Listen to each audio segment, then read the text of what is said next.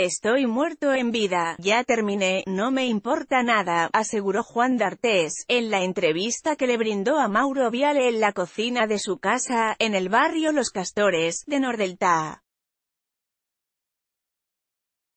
El actor habló por primera vez con un medio, a dos días de la grave denuncia por violación de Telma Fardin.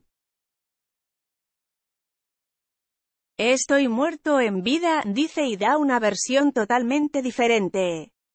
Fue en su casa de Nordelta, estaba con los dos hijos.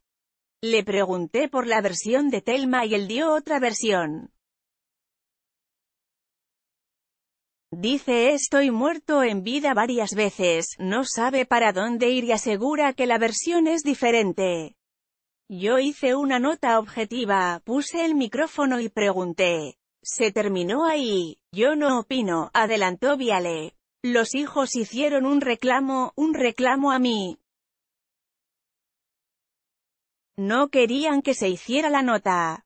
A María, a la mujer de Juan, no la conozco. Cuánto terminó la nota, pensé que no iba a salir. Fue muy tenso todo, pero trajimos la nota igual. Creo que él no está en condiciones de hablar mucho, él tenía ganas de hablar. Él está como para preocuparse. Dice varias veces, estoy muerto, yo ya terminé, estoy muerto.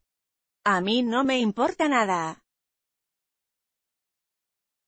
Tienen que estar cerca de él, los chicos están, a la mujer no la vi. Los chicos estaban al lado de él cuidándolo.